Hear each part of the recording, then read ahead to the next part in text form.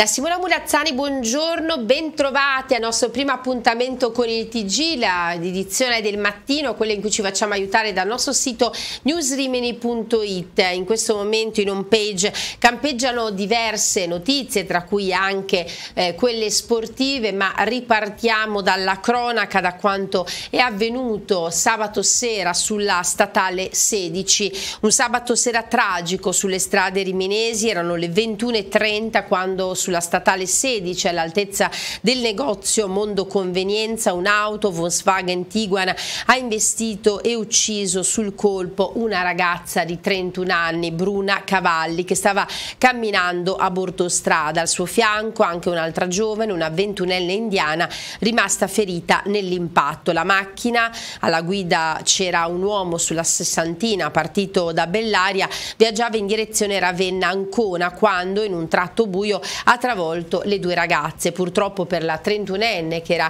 di origine albanese ma era stata adottata piccolissima da una famiglia riminese, viveva a Rimini da tantissimi anni dove lavorava per l'azienda eh, di famiglia, non c'è stato nulla da fare. Quando i sanitari sono arrivati sul luogo dell'incidente non hanno potuto far altro che constatarne il decesso. L'altra ragazza è stata immediatamente soccorsa dai sanitari e trasportata d'urgenza all'ospedale Buffalini di Cesena.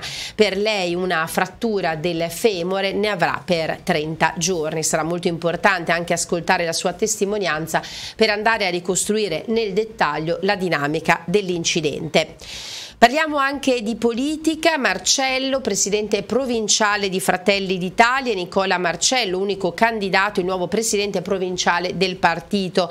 Sono stati quasi 500 votanti a chiusura del congresso eh, che si è svolto ieri.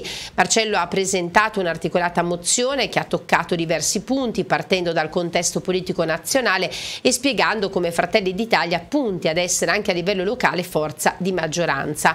Per farlo, ha spiegato, dovrà divulgare le linee strategiche e le azioni portate avanti dal governo Meloni tramite un'attività di opposizione radicale, costruttiva e costante. Fratelli d'Italia lavorerà per radicarsi ulteriormente sul territorio con la creazione di circoli territoriali e responsabili nei vari comuni. A livello tematico centrali i temi della sicurezza urbana e della legalità. Si è parlato poi anche di alcune battaglie come ad esempio quello per il terzo casello autostradale, la nuova statale 258 Marecchiesi, il ripensamento del tratto numero 1 della nuova statale 16, alternativa alla chiusura del ponte di Tiberio. Strategiche anche istruzione, università e cultura. Insieme al Presidente sono stati eletti nel Consiglio direttivo Sara Borghese, Alessio Napoleone, Nicoletta Gagliani, Lara Cecchini, Maria Nicoletta De Cristofaro, Costanzo Merla, Daniele Genghini, Alessandro Pierotti e Maurizio Fabbri.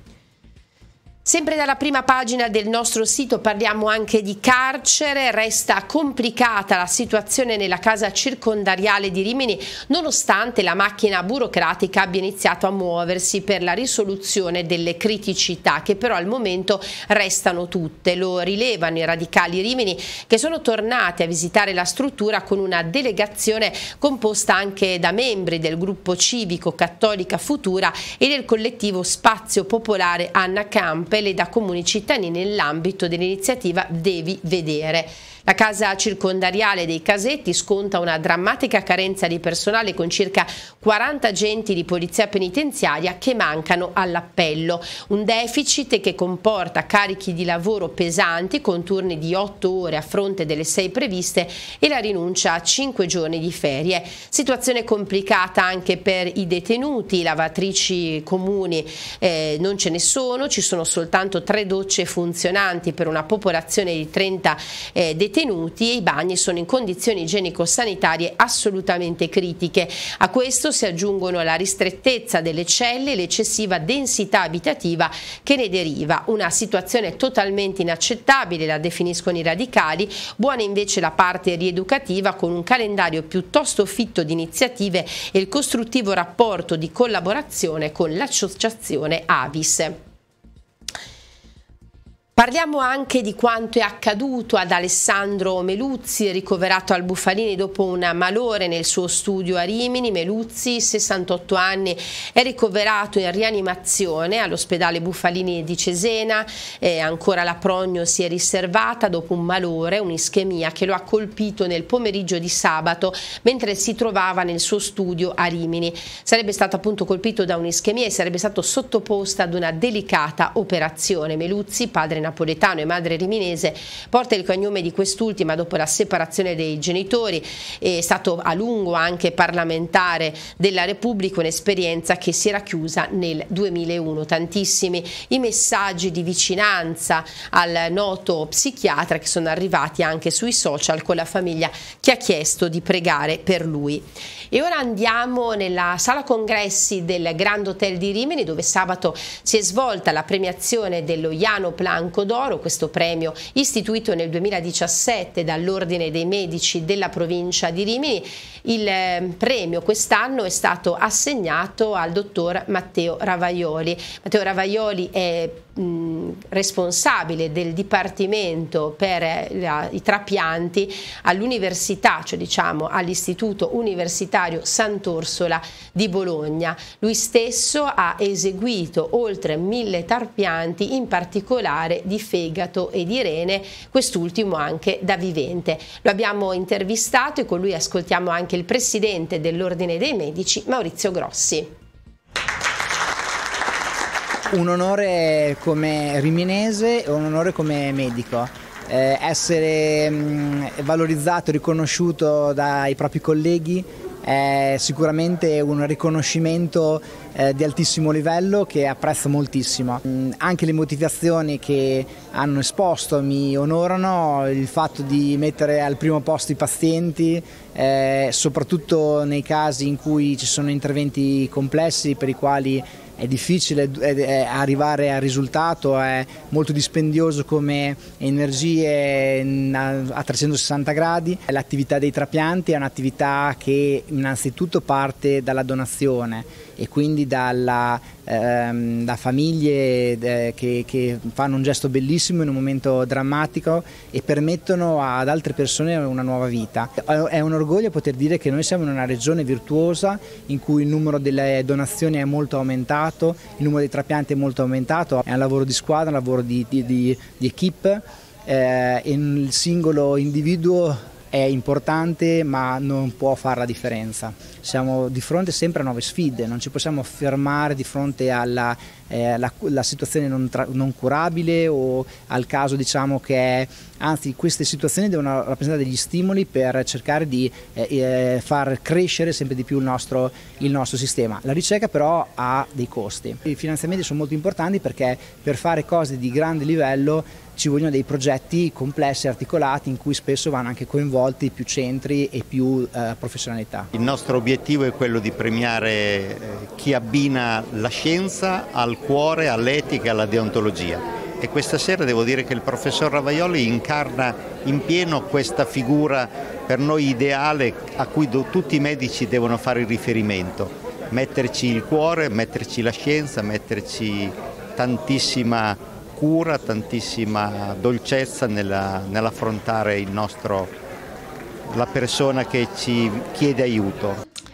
E ora torniamo a parlare dei toni molto accesi che riguardano lo scontro sull'aria eh, di Via Bassi, l'area dell'ex questura. Le dichiarazioni dei capogruppo di maggioranza non vanno giù ad Ariminum Sviluppo Immobiliare. Così dopo la commissione di venerdì arriva l'ennesima nota firmata questa volta da Piero Aicardi, che è amministratore unico di Asi, e da Marco D'Adalto, coordinatore del progetto Rimini Life. Alle accuse di arroganza dei capigruppo la società risponde per le rime dicendo non accettiamo più questi toni, se è vera la volontà a condividere un progetto di rigenerazione non si può usare questo livello di comunicazione, dice Icardi, mentre D'Adalto richiama i consiglieri di maggioranza ad un maggiore consenso, un maggiore senso di responsabilità.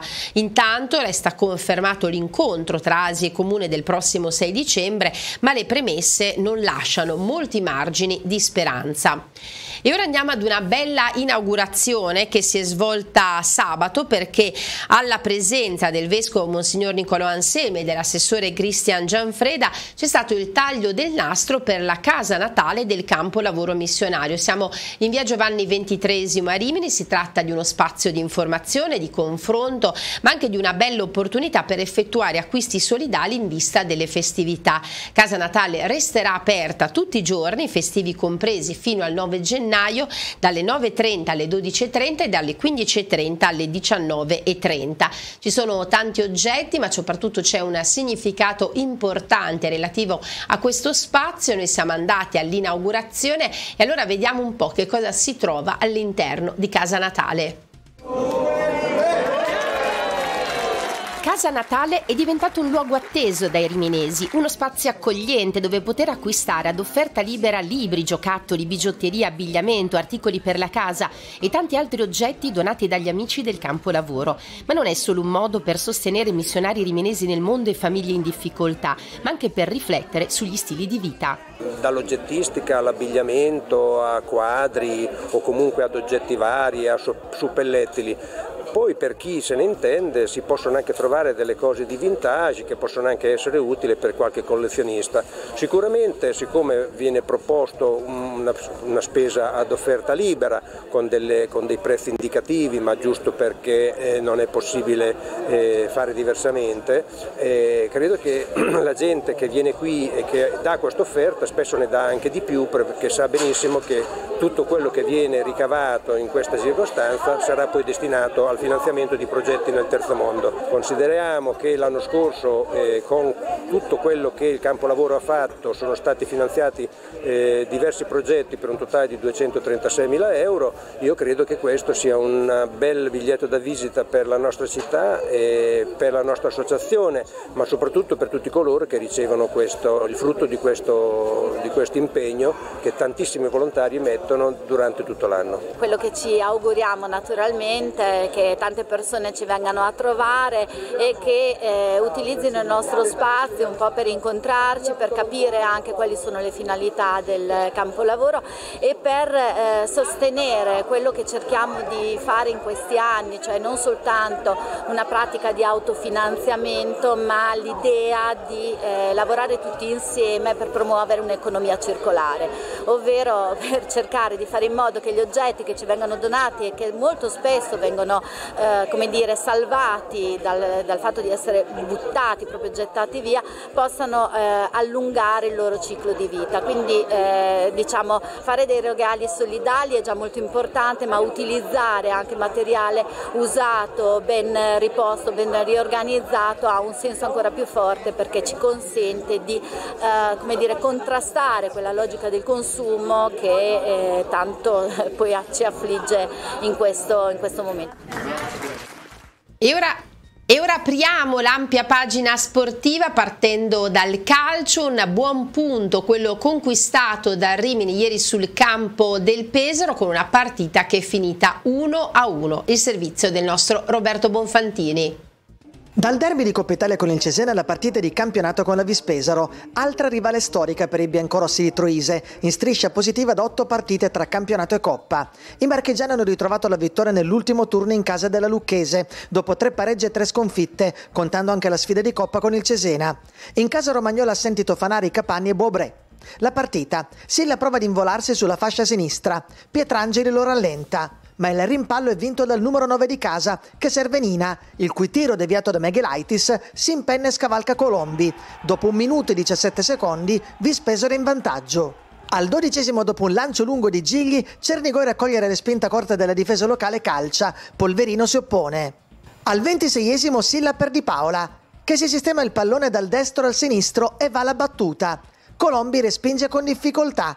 Silla tenta il tapin, ma non trova lo specchio.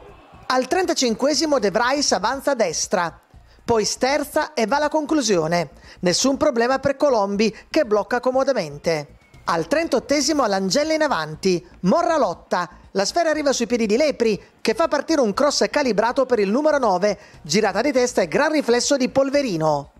Al 43 sugli sviluppi di un corner, traversone di Di Paola, Tonucci in tuffo di testa, Colombi respinge con una mano. Si va all'intervallo con la Vispesaro avanti 1-0. Al diciottesimo della ripresa Silla parte da metà campo palla al piede, entra in area ma si allunga il pallone e Colombi in uscita basso lo può anticipare. Al ventitresimo ottavo corner per la Vis, dalla bandierina De Vrais. Del carro di testa, gran sinistro di Di Paola, pallone che centra la traversa e finisce fuori. Al 32esimo punizione dal limite dell'area per il Rimini. Polverino chiede aiuto alla traversa sulla staffilata di Lamesta, ma nulla può sul tappine di testa da due passi di Morra, tenuto in gioco dal coccodrillo Mamona. Ottavo sigillo in campionato per il bomber dei biancorossi. Al 37esimo del carro allarga per Leoncini, che serve alla Mesta. Il destro giro dal vertice dell'area è fuori. Dopo 4 minuti di recupero arriva il triplice fischio. Vispesero e Rimini si dividono la posta 1-1. Si allunga a 7 la striscia positiva dei ragazzi di Troise. 9 gare al campionato aggiungiamo alla Coppa. E mercoledì il recupero ad Olbia. Un punto che fa morale dà continuità, così il mister nel dopo partita. Sentiamolo. Per come l'abbiamo raggiunto chiaramente è un punto che, che fa morale, fa classifica e dà continuità. Poi nel, nel discorso della partita chiaramente è stata mm, condizionata nell'immediato da uno svantaggio con questa palla insomma, che si è impennata e ci ha un po' ecco, presi di sprovvista insieme ad un campo, ad una superficie, non è un alibi ma Abbiamo, abbiamo, condotto tutto il primo tempo con troppi errori tecnici, con eh, qualche giocatore insomma, che è andato sotto, sotto, il proprio livello, ma considerando gli impegni ravvicinati era un, era un po' nell'aria. Poi non siamo stati secondo me bravi nelle occasioni importanti che abbiamo avuto il primo tempo per, per cercare di pareggiare la partita ed avere più tempo a disposizione. Quindi poi col passare del tempo è chiaro che sono partite che rischi, rischi di prendere il secondo gol perché ci sono state situazioni, soprattutto sui piazzati, quella traversa che potevano tagliarci le gambe e allora ci portiamo a casa un punto che fa morale e come l'abbiamo raggiunto perché ci abbiamo creduto con merito e che dobbiamo dare continuità, dobbiamo dare continuità mercoledì perché ci aspetta subito un'altra partita fondamentale. E dal calcio al basket per parlare finalmente di una vittoria di RBR ottenuta in casa contro la Sigeco Piacenza per 83 a 78. Il servizio. La Riviera Banca Basket Rimini torna alla vittoria dopo un mese in una sfida vibrante contro Assigeco Piacenza tra le mura amiche, interrompendo una serie di 5 sconfitte consecutive. Il match inizia in salita per la RBR con Piacenza che dopo una fase di equilibrio prende il largo con un parziale di 6 a 0 firmato da Querci, Skins e Miller. Rimini però la ribalta grazie alle triple prima di Grande e poi di Tomassini sulla sirena del primo quarto per il 20-15. Nel secondo quarto Rimini scappa sul più 9 con i punti di Masciadri prima e Scarponi poi. Piacenza però torna sotto con la tripla di Serpilli, Anumba sale in cattedra con la tripla del 32-28, ma Piacenza recupera prima con la schiacciata di Skins e poi con la tripla di Miller, 34 pari. Il quarto si conclude con la tripla di Masciadri, ma Bonaccini tiene in scia i suoi per il 37-36. In apertura di terzo periodo Rimini scatenata con la schiacciata di Johnson e due triple di Grande, per il complessivo più 12 dei biancorossi in gran spolvero. Bonaccini riduce il parziale a meno 7, ma un'altra tripla di Masciadri corona il più 13. Il quarto si conclude con una tripla di Veronesi, che riduce a meno 10 il distacco di Piacenza. Botta e risposta con le triple di Miller e Tomassini in avvio di quarto quarto. Piacenza si rialza, ma poi tripla di Grande sul ferro, rimbalzo di Anumba e più 8 Rimini. Tripla incredibile di Miller per il 72 a 67. Veronesi fa 2 su 2 dalla lunetta per il meno 4 Piacenza. Marx riporta avanti Rimini 75 a 69. Tripla di Anumba, ma la tripla del meno 3 di Sabatini rimette in scia Piacenza. Finale sofferto, con Grande che fa 1 su 2 dai liberi, più preciso Tomassini 2 su 2 per l'81 e 78 e decisiva la giocata difensiva di Marx che consente a Rimini di incamerare il definitivo successo ancora con Tomassini dalla lunetta. La RBR tornerà in campo giovedì 7 dicembre alle 20.30 in casa della Fortitudo Bologna. E parliamo anche di volley, una vittoria di squadra ottenuta con il carattere, la determinazione e la voglia di fare il risultato. Un successo conquistato per 3 a 1 dall'Omag MT contro l'Armea Olbia da parte di tutto il gruppo che grazie anche al supporto della panchina ha saputo soffrire quando era in svantaggio e poi vincere. E così è arrivata l'ottava vittoria in un palazzetto difficile per tutti, il Geopalas, seppure non sia stata la migliore partita della stagione, la Omag MT ha saputo ben interpretare il match e mettere in crisi il gioco di una squadra ostica come quella sarda. Con questi tre punti le marignanesi si riprendono il secondo posto in classifica superando Cremona battuta dalla capolista Macerata. MVP di giornate Serena Ortolani con 15 punti e il 48% in attacco.